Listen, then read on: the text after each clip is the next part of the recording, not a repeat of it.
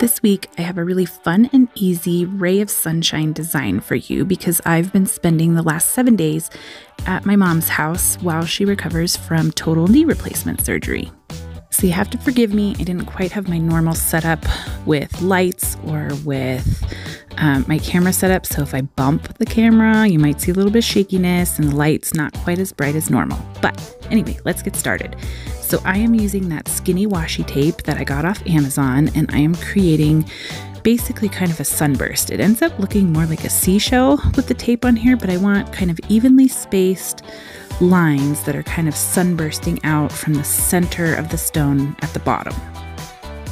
And then this is going to be my color scheme. So two kinds of pink, a light daffodil yellow, and then kind of a coral color that I'm going to lighten up a little bit. And again, this design was inspired by some cookies that I saw on Instagram that were just super cute. And I was like, ah, that would look so cute on a rock. So that's what we're to do.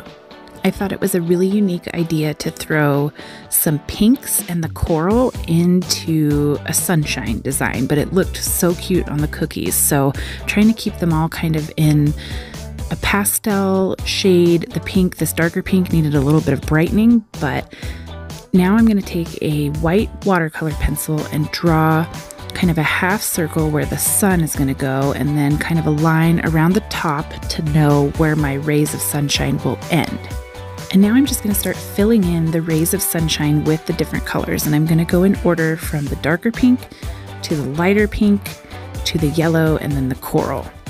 And it wasn't until after I finished the first coat on all of these that I realized I probably should have used gesso underneath as a base coat because I had to do several coats to get a nice, bold, vibrant color and get full coverage on everything. So hindsight is 2020. I should have used the gesso, but I didn't. And um, it still came out cute. So I'm going to go ahead and fill in all of these rays of sunshine.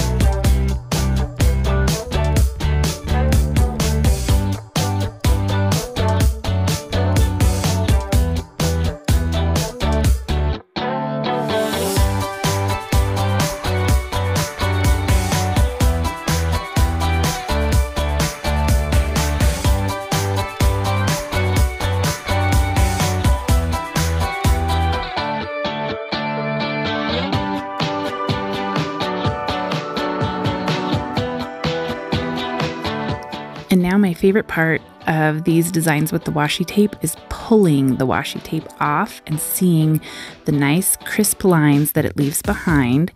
And this is really cool because it just leaves that stone background exposed, but it creates perfectly straight and even lines in between each ray of sunlight.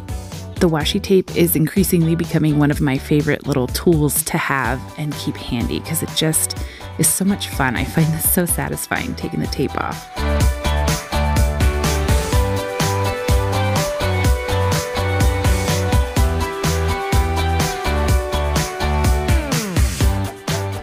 Now, because I learned my lesson, I am going to put a couple coats of the Liquitex gesso on the sun so that I don't have to go over 10 million times with the daffodil yellow.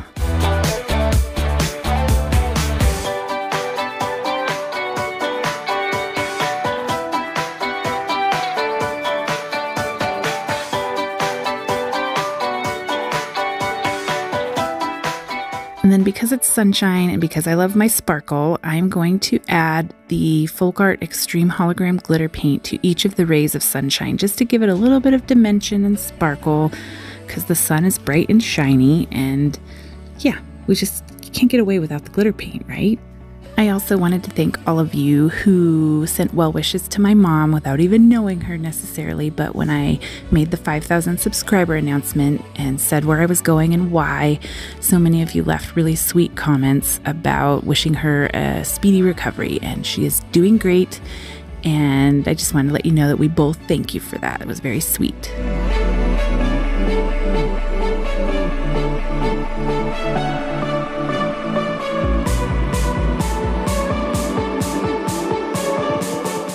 Now I'm going to take a Posca PC1MR paint pen and write the word shine in script and then I'm going to come back and thicken up all of the downstrokes to get the faux calligraphy effect.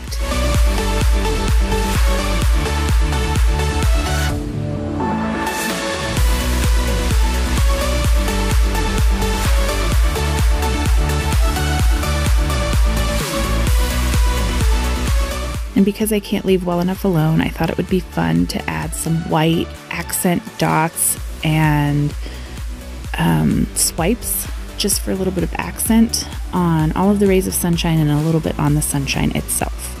I didn't pack enough colors with me, but I think this design could be a lot of fun if you swapped out the pinks for different colors like blues or purples um, or like an aqua and a turquoise. I think it'd be really pretty. But even still, I think this color combination came out so cute and it's perfect for summer. And I feel like there's so many more summer ideas I'm not going to get to because back to school and then fall and Halloween are going to land on us so fast. But let's take it as it comes. And thank you so much for stopping by. And thank you so much for being patient while I took a week to help my mom out. Keep spreading that kindness, and I'll see you next time. Take care.